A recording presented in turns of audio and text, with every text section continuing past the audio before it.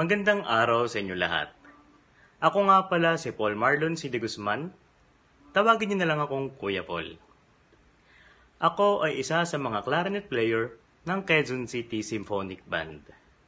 Nanggaling sa Universidad ng Pilipinas, Kolehiyo ng Musika. Ano ba ang clarinet? Ang clarinet ay pamilya ng woodwind instrument.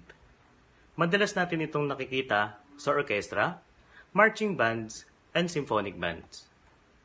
Ano ba ang parts ng clarinet? Ito ang mouthpiece. Ito ang ligature. Ito ang reed. Barrel. Upper joint or left hand position. Lower joint or right hand position. At bell.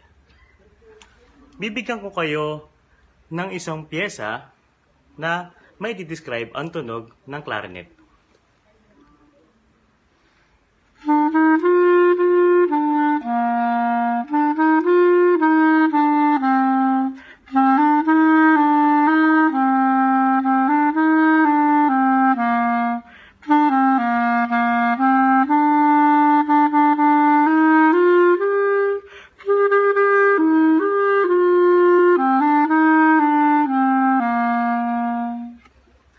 Ayon ang tunog ng clarinet, lower notes.